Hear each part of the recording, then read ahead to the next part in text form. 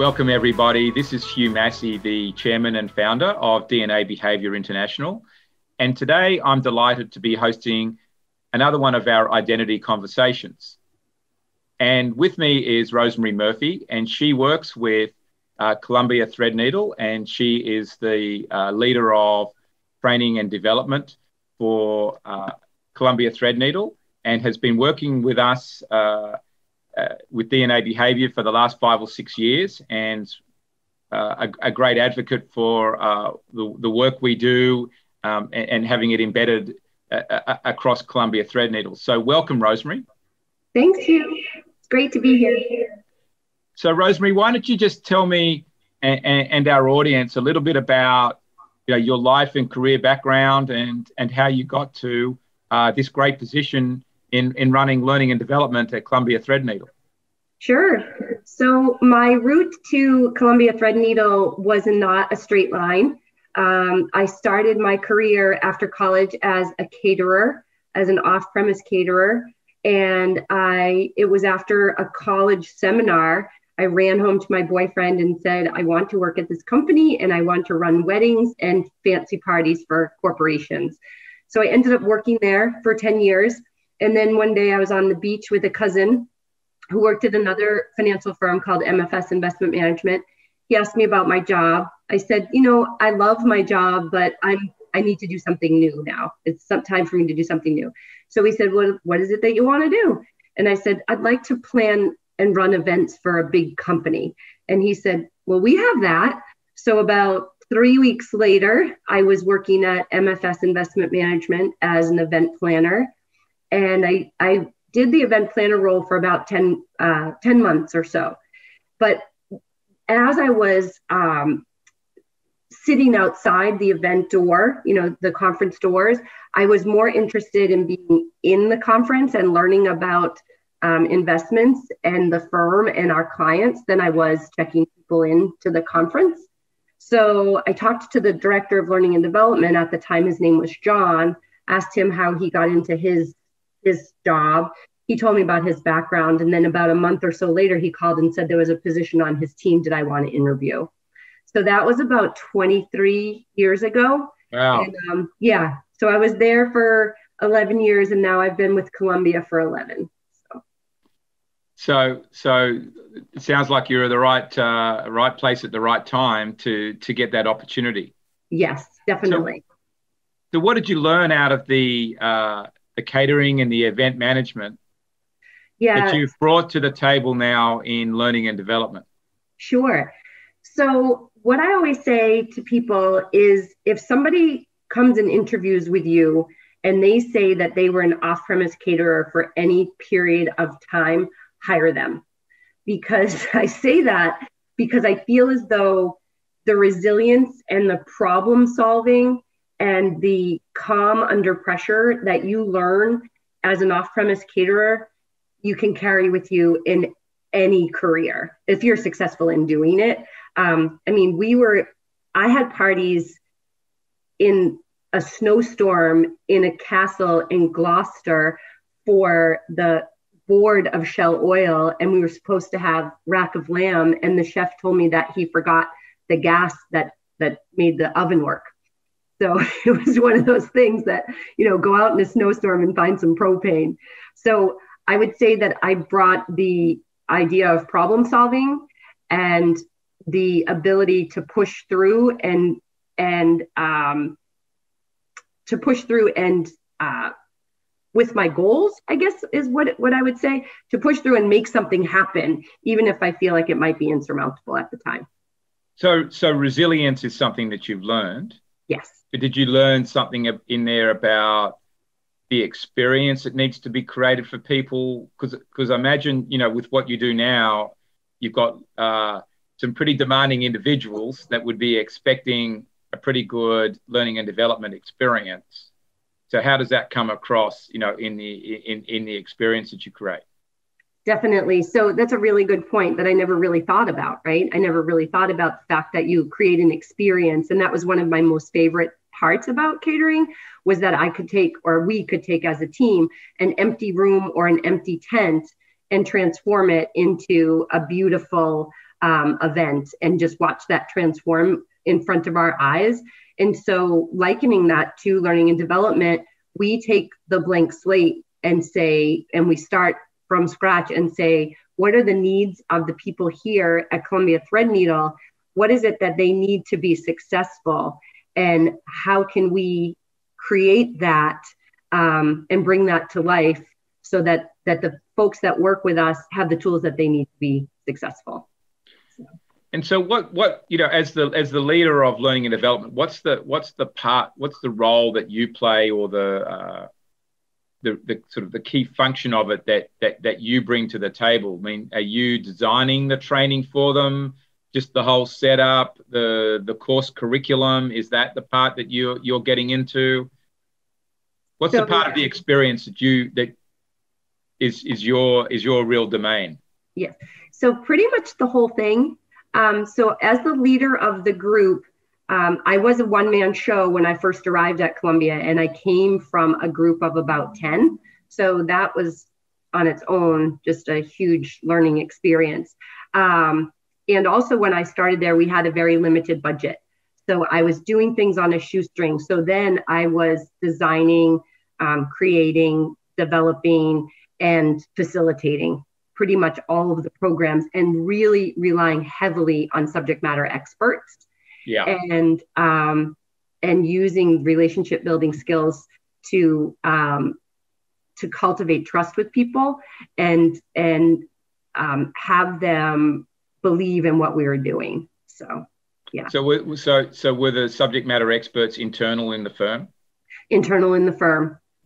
And I, I also relied heavily on external consultants with whom I formed good relationships back at my last job. And they, a couple of them turned into great mentors for me um, and helped me shape what I now have as um, a department of three of us at Columbia Threadneedle. Yeah, so it's bringing every so really in a way it's bringing it's bringing the whole the whole thing together. Yes and and then, and then getting the right people in the right slots to uh, deliver maybe the uh, the intellectual knowledge that was needed mm-hmm. that you don't have. I mean, if you haven't been a, directly a fund manager, you can't. It's harder yeah. to teach people about that. Exactly, exactly. And I mean, the other thing that I think that I did when I came to Columbia Threadneedle was um, we weren't a learning culture when I came here, and there was a lot of resistance to learning and development. And um, I had leaders who, who are no longer at the company saying to me, Can we do that before market and after market? Because these guys need to sell. And um, we had some leadership changes. And I feel like I was the little engine that could. And I just kept plugging away and plugging away and um, trying to advocate for the salespeople that we need to invest in their development in order for them to understand like that we value them and um, we'll be a better company as a whole if we um, provide this learning and development opportunities for them. And over, I'd say, the last six years or so, we've really ramped things up and we have become a powerhouse learning culture at Columbia Threadneedle. And I have all of the leaders on board and they're huge advocates for, for what we do. So it's great. Yeah, it's a huge step because actually you took my next question out of my mouth um, because I was going to ask you how how you'd influence the culture. Yeah. So I feel as though, um, I mean, that's just it. So we went from a culture that that devalued almost learning and development to a culture now that our national sales manager, because I do work primarily with the sales team, the intermediary distribution team, and a little bit with the institutional team. But that when we're at national sales meetings, our national sales manager makes learning and development a part of all of his keynote speeches now. And there's a couple of slides on what we're doing in learning and development, the importance of developing yourself, and um, the success stories that we've had as a result of their development. Yeah. Good. So well, that's a that's a big shift because it's not easy to to train that um, or to to get organisations to shift um, if the leadership particularly has been bottom line focused. Yes. And not understanding the necessarily the need to invest in it. Yes. Yes. So I'm sure you've had to be resilient in that in the in the sales process to convince uh, people up the line um, of, of, of the importance. Oh yes. But have you seen the results of the company has improved as well as you've as you've gone on that journey? I mean, I think that as a whole, our firm has come in the 10 years or 11 years that I've been there now, we are we are now seen as more of a powerhouse asset manager than we ever have in the past. And I'd like to think that the learning and development piece of it is a, is a piece of it. But I mean, our investment performance is amazing. Our leadership team is really strong. Um, we, we really function as a team. A couple of years back, we used to have these meetings. We still do. We had these meetings with all the leadership called alignment meetings. And we'd have someone from marketing, or not someone, but representation from marketing, product, investment, and sales. And we get together twice a year to become aligned. And now we don't necessarily need those meetings anymore because we are aligned in the manner in which we work.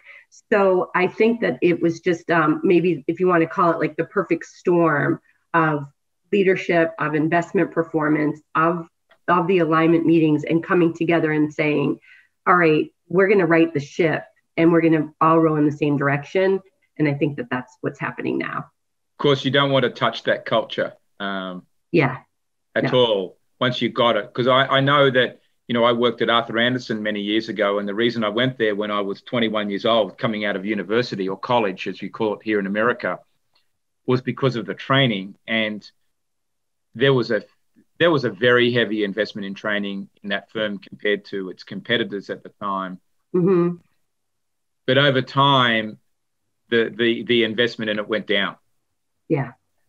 And I don't believe it affected performance straight away, but at a certain point, it it it did, and that's why it's not there. You know, it's in my yeah. view, it's partly why it's not there today. Today, yeah, yeah. And and, and so it's easy. It's easy for the leadership teams to, uh, you know, when times get tough, to uh, to go into the learning budget and cut it cut it a bit. Mm-hmm but in a way, it's a bit like cutting off your left or right hand or a, a foot. That's right. At some, at some point, you're going to have a disability. That's right. And and so uh, you know, I think I think Rosemary, full marks to you for being strong enough to uh, to see it through. Yeah. But also, you know, part of it is it's not it's not just the leaders saying, well, we need to have it, but you've got to make it a quality experience. Yes, definitely. And I mean, I do that, I think I do that by just constantly checking in with the leaders. And um, we've we've created something that we call the four pillars of learning and development. And every time I meet with the national sales manager, we go through and we say where are we in each of those pillars and what are the needs. And then his leaders are very involved in the development of the programs that we are that we are delivering. And we also get a lot of feedback from the salespeople themselves, and they tell us what they need. So um, it's a team effort. It's not just coming yeah. from me and pushed at them. And the other thing that I really, um, I, I, do a lot of due diligence on the companies that I work with, the, the consultants with who I bring in, because I look at them as an extension of me and my brand. And if I put someone in front of them who, who I don't really feel is credible, then that's that's a ding on me. And yeah, so it, it can it, it, yeah it can become a problem. Yeah. Um, because you don't get too many chances of getting it wrong, uh, with no. particularly with the audience that you have. Mm-hmm. That's right. So, so just moving along, Rosemary, to your business DNA discovery that you did, and just for our for our listeners um, at DNA Behavior, we have everybody spend ten or 12 minutes online and they answer some questions that uh, bring about uh, their, their, their natural behavior style. And, and so uh, for you, Rosemary, you're an influencer style and uh, comes with the territory. You like to take charge and be quite outgoing. Mm-hmm. Um, and, and, and uh, uh, operate in a, you know in a spontaneous, flexible, intuitive way. I think that that comes out in your in the work that you do, you need to be intuitive to, uh, to get the room. So just tell me a little bit more about how you felt when when when when um, the business DNA results came back to you, um, what the insights meant to you, how you've used it. Yeah. So first thing that came to my mind was a call that I made to Leon when as soon as I got the results, and I said, "Oh God, Leon, I, I don't think these are right. And he said, What do you mean? I said, Because I didn't follow the directions. I was supposed to be like sequestered in my room and I was supposed to do this without any interruptions. I took a couple of phone calls and a few people came into my office while I was doing the uh, doing the um, the assessment. And he said, Well, no, your results tell me that that that's probably something that happened right so we laughed about it a little bit but in in um ser- all seriousness looking at the results, um, there, I, I, wasn't very surprised at yeah. seeing the results. And what was your question about the results? How I'm using them? Yes, yeah, how you're using them, sort of, you know, your reaction to them. Um, yeah. People always have a standout for them, a standout insight, you know, and, and uh, yeah. with it usually. So I think the standout insight for me was um, the spontaneity piece of things. I mean, I'm I'm very um, it's one of the the strongest factors I think for me. Yep. Um, the outgoing piece, I'm outgoing, right? So it's known, but the spontaneity piece for me really helped me to understand other people more so because it's so easy for me to switch gears and what I learned from that is how frustrating that can be to others when I'm switching gears or when I'm interrupting their thought process and not allowing for them to like I, I, had somebody who worked for me he, he was very planned and just seeing our results it the light bulb went off for me and i said oh my gosh and it changed the course of our relationship and it changed the way that we interacted with one another and it changed the way that i managed him because I wasn't giving him enough time to process and to think and to yeah. execute on his plan um, because I was not necessarily switching gears all the time, but thinking of another idea. I'm always brainstorming and then thinking of another idea instead of just tucking that brainstorm in and not sharing it straight away because of the outgoing piece. I would just blurt it out and he would think that he would have to act on it. And then I would say, Oh, no, no, I'm just, I'm just sharing the ideas. So it really helped our relationship and it helped me to understand how to manage him better. Yeah, I think that's the power of uh, the reports that when you can share it with somebody else and see see that difference in the and the, and the penny drops. Yeah. Okay, this is potentially where we've been mm-hmm. uh, butting heads, or the energy has been a bit negative. Yeah. Um, but I always, you know, say to everybody that being spontaneous is to be celebrated, and it's um, you know, it's a very important trait, particularly in in today's world where everybody needs to be adaptable. Yeah. You know, and, and so adaptability comes from people like you who are spontaneous and creative. Mm-hmm. Um, but the gift is the the in, being intuitive. But I think, and I'm saying this for the benefit of the audience as well, uh, Rosemary, you can be uh, uh, whilst it's going with the flow, you can at times, for, for a planned person at least, be too fluid. Yes, definitely. And, and I can see that.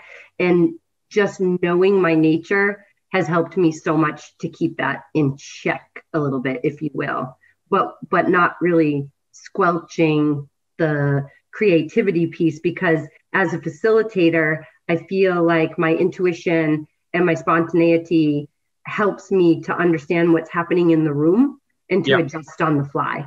So if I feel like the energy of the class is going in this direction, but you know my next um, my next piece of the curriculum was over here, I don't go there. I stay here with them, and um, I think that that's beneficial for my learners.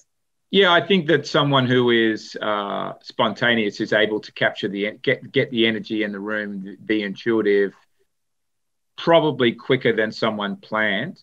Um, mm-hmm. Um, but the fact is, we've all got the gift. Yeah. But but uh, um, the the planned person will be thinking about it a lot longer. It'll take it'll take them a bit longer to get there um, mm-hmm. with that. So that is, but that's something that's important to creating the experience is to is to understand what people are you know are feeling in the room and you know does it does the program need to be tweaked or adjusted Mm-hmm. but at the same time the structure needs to be maintained as well so having someone planned on your team is also good Yeah. to, keep, to keep stability in the structure um, and to make sure every, all the everything turns up on time that's supposed to turn up on time including Oh, uh, including the propane gas right? Well, it's so funny because I just hired someone new on my team and I knew her DNA. She she came from the sales desk. And one of the things that I said to Katerina, who's on my team, who's an adapter, I said, we need someone on our team who is very organized and very planned because that will help to round out our team. And the person who I just hired is very organized and very planned. So it's it's I'm excited to have her on the team. And we just had our first meeting today and just talking to her and hearing some of her ideas, like this is going to be good. No, it's very important for the team, I think, to have someone like that who can create the stability, and then, in a way, you create the uh, the ex- the excitement, the pizzazz, um, the experience for the participants, so that they Yeah. feel, um, you know, it's a great event, and, and and and as you said, you can make that out of nothing, uh, um, when you want to. So. So if we take that, if we take all that forward, and also your, you know, your life in in in um, in catering, and sort of look at it in terms of Rosemary's identity, your you know your unique gift, how you want to be seen in the world. Where does the plane land on that for you? Huh, that's a good question because a lot of a lot of my identity, I mean, some of my identity definitely comes from work, right? Because I'm Yep. here a lot. Um, but a lot of it comes from outside of work and the things that I do outside of work. Yeah. Um, so I um, I have a commitment to something that's called the Pan-Mass Challenge, which is a bike ride across Massachusetts that raises money for cancer. So every time I talk about that, I cry because it's so important to me. But um, so I've been doing that for 17 years. So that's a big piece of who I am. And um, I, in the last five years, I've got my couple of my nephews and my brother and my brother's firm involved in doing that. So that's a big piece of me. And then there's another piece. I became a yoga teacher back in 2006. And then again, I, I continued to go through yoga training until about 2015 as teacher training. And I was a teacher for maybe five or six years part time. Um, so that's another big piece of who I am. So I think, you know, if I put it all together and I look at it all in one um, clump of clay, if you will, Yeah. um, I think that it would be somebody who um, who is a champion of the development of others Yeah. and is a champion of um, not even just the development of others, but of celebration of others, if you will. And I mean of myself too, but I tend to, uh, it tends to be, I tend to try to bring the positive aspects of life to other people to show them, hey, your life could be better if you embrace this. So, But, but I think that's that is what that's what the identity is about, and in, in in the sense that you know if I pull that together, that championing the celebration of others happens through the training work that you're doing, yeah, through the yoga, and also you know through the uh, through the bicycle riding, whether it's the bicycle riders themselves or or the you know the the charity itself. yeah, Um, you know, you're championing uh, the the celebration of, of of other people and of life yeah, um, uh, through that. And, and there's probably something in there where you're creating experiences for people in those environments as well. You're not just doing it at at work. You're you're Yeah. you're there's probably some fun experience people are getting in the bike riding um, trips that they're doing oh, yeah, and the yoga. yes, oh, definitely, definitely. So there's I mean, I- something there's something there's something within you that you're doing that's that's making it a celebration. Does that make Mhm. sense? Oh, it makes perfect sense.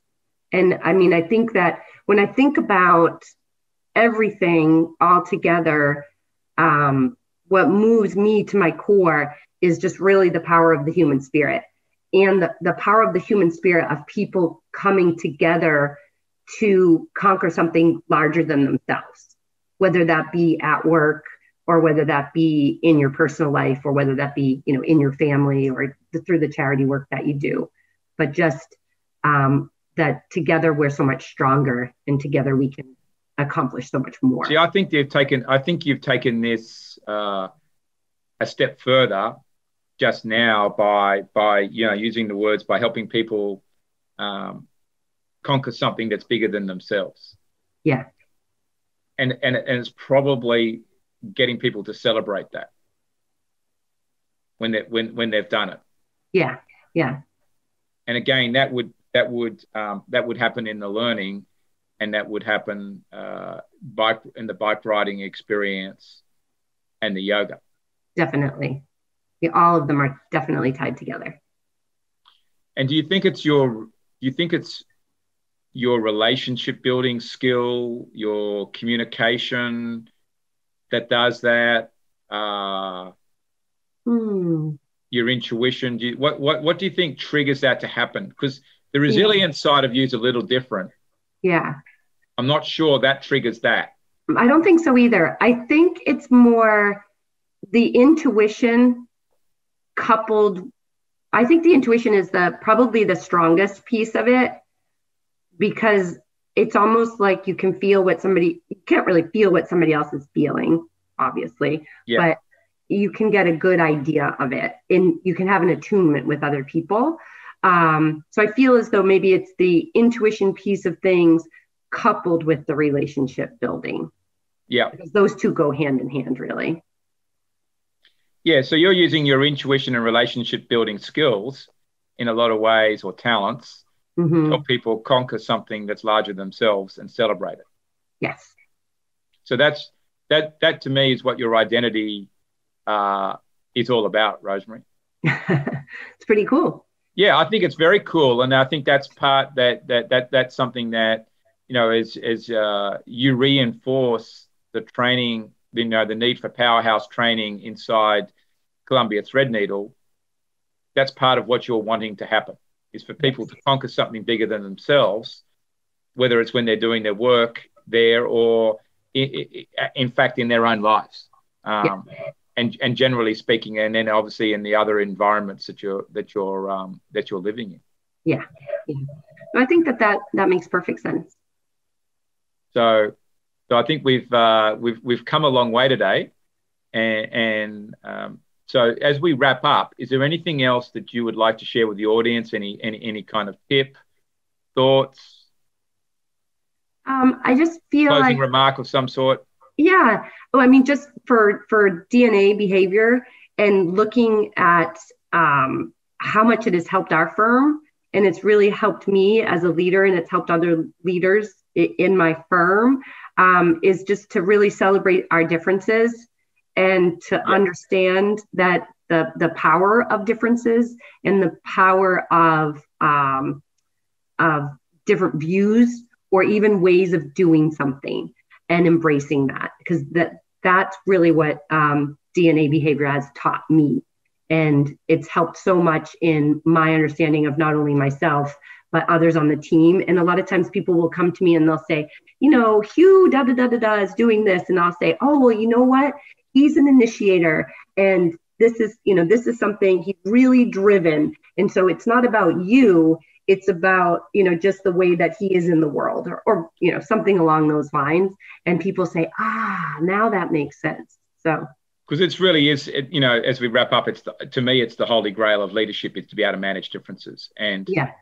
it, it's i think to know that they're there is one step of it but to really be able to manage them uh, on a regular basis and do a good job of it is not very easy. No. But it's the key to uh, uh, it's the key to success. Yeah. And just one more little thing. It's funny yeah. because I have about I don't know 250 people or so at my firm and I can almost remember all of their DNA and everybody says, "How do you do that?" And I just find it so fascinating. To me, it's one of those things that is um, it's so powerful and it's just so interesting to the more that you know about somebody and the more that you understand them, the the better the relationship is going to be over time. So well, to me, that shows that you love what you're doing, and yeah, uh, yeah I, I, I, have I've commented to people. I've found it amazing how many how many of the ones that I've touched in our firm, and of course, I don't touch the same percentage of them as I did at the start, which was nearly hundred percent. Yeah, it's very low now, but I remember I remember them all when I've when I've met the person and, and, and seen the style. Um, it yeah. never goes away. It's crazy. Um, yeah, and you keep that MRI scan in your head, but but it's a, it, but it's a wonderful gift to have. Yeah, yeah, it is. So thank you. No, it's a pleasure. Well, Rosemary, thank you so much, and it, and it's great to uh, spend time with you and learn more about your identity. And I think a lot more people are going to be uh, conquering the mountain and, and celebrating. Great. Thanks so much, Hugh. That's a pleasure.